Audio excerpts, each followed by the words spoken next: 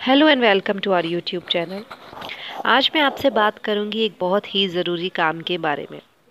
अगर ये काम आप दिन भर में पाँच मिनट भी नहीं करते तो ये इतना पैसा कमाना, इतनी धन दौलत होना, गाड़ी बंगला होना सब व्यर्थ है।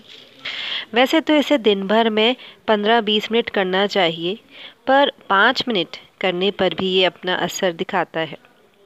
ज़्यादा ना खींचते हुए आपको बता दूँ कि वो काम है मेडिटेशन ध्यान लगाना।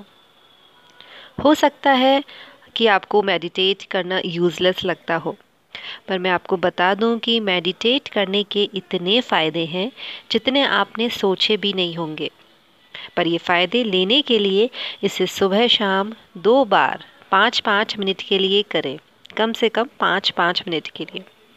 इससे आपकी ब्रेन पावर बढ़ेगी।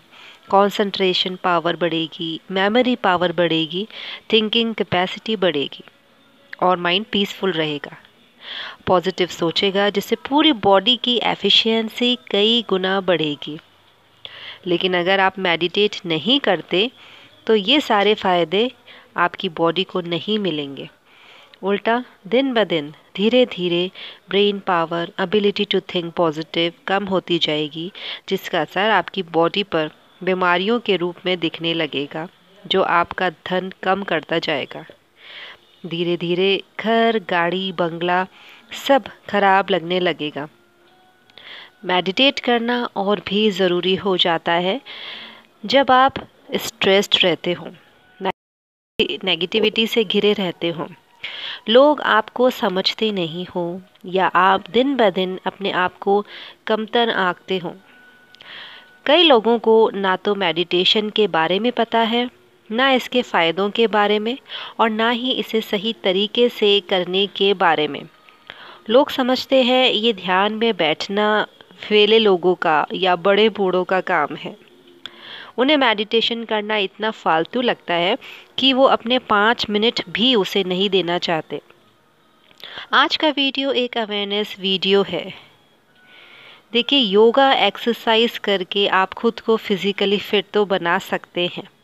लेकिन यदि मन को शांत करने के लिए कुछ नहीं किया तो ये फ़िज़िकल फिटनेस ज़्यादा लंबे समय तक साथ देने वाली नहीं मेडिटेशन करने से इतने फ़ायदे मिलते हैं जितने आपने सोचे भी नहीं होंगे।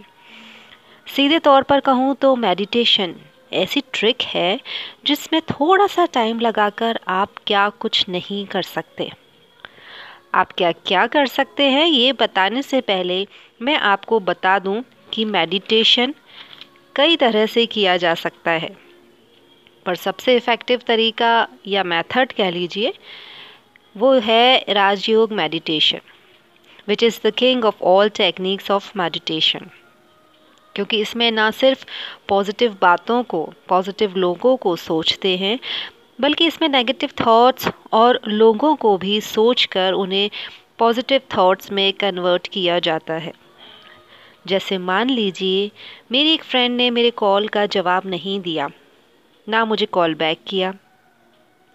तो मुझे बुरा लगना ज़ाहिर है। यदि राजयोग मेडिटेशन मैं कर रही हूँ और करते वक्त ये ख्याल आता है तो मैं अपने इस थॉट को बिल्कुल अवॉइड नहीं करूँगी। बल्कि अपने थॉट को पॉजिटिव थॉट में कन्वर्ट करूँगी। जैसे, हो सकता है मेरी फ्रेंड उस वक्त कहीं बिज़ी हो या उसका फ़ोन उसके पास ना हो, या किसी और वजह से वो मेरा कॉल नहीं ले पाई हो या नहीं कॉल बैक कर पाई हो। ये मैंने बहुत छोटा सा एग्ज़ाम्पल दिया है। बस यही करना होता है राजयोग मेडिटेशन में। अपनी नेगेटिव फीलिंग्स को नेगेटिव थॉट्स को।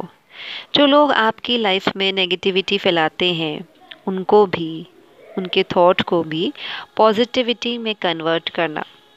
कहने में जितना आसान लगता है, असल ज़िंदगी में ये करना कहीं ज़्यादा मुश्किल है, लेकिन नामुमकिन नहीं। धीरे धीरे प्रैक्टिस करने से हम अपनी फीलिंग्स इमोशंस पर कंट्रोल पा लेते हैं। रोज़ दिन के पाँच मिनट देकर ऐसा किया जा सकता है। अब बात करते हैं कि इससे आप क्या क्या नहीं कर सकते या क्या क्या कर सकते हैं। राजयोग मेडिटेशन से हम मेमोरी एंड कंसंट्रेशन पावर को कई गुना बढ़ा सकते हैं। इससे हम स्ट्रेस कम कर सकते हैं। स्ट्रेस जब कम होता है तो नेगेटिव थॉट्स कम होने लगते हैं। जब नेगेटिव थॉट्स कम होने लगते हैं तो माइंड ज़्यादा क्लियर और फोकस्ड होता है। जब माइंड क्लियर एंड फोकस्ड होता है तो मंजिल भी करीब लगने लगती है और रिश्तों में दूरियाँ भी कम होने लगती हैं। मतलब हमारे रिश्ते हेल्दी होने लगते हैं। जब रिश्ते हेल्दी होने लगते हैं, तब हम भी हेल्दी रहते हैं और जो चीज़ पहले मुश्किल नज़र आ रही होती है, वो आसान होने लगती हैं। नकारात्मक सोच हमारी ऊर्जा को खाती है।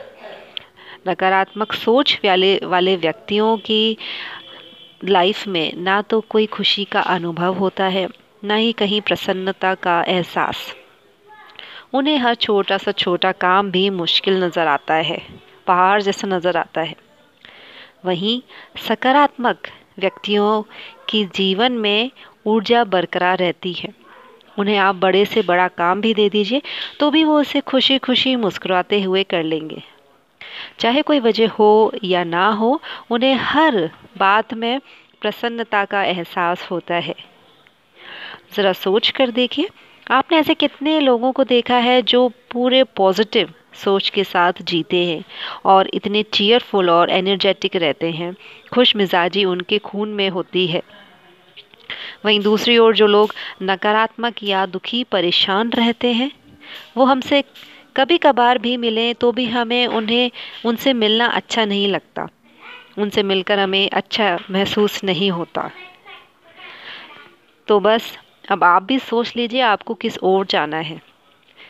ध्यान लगाने का फ़ायदा यही होता है कि हम अपनी सोच पर काबू पा सकते हैं। उससे मन चाहे दिशा में राह दिखा सकते हैं। मेडिटेशन करने से हमारे अंदर जो भी नकारात्मकता होती है, वो सकारात्मकता का रूप ले लेती है और जीवन खुशहाल होता है। इसलिए मेडिटेट करिए। खुद भी खुश रहिए, मुस्कुराते रहिए और दूसरों को भी खुश रखिए। Thanks for watching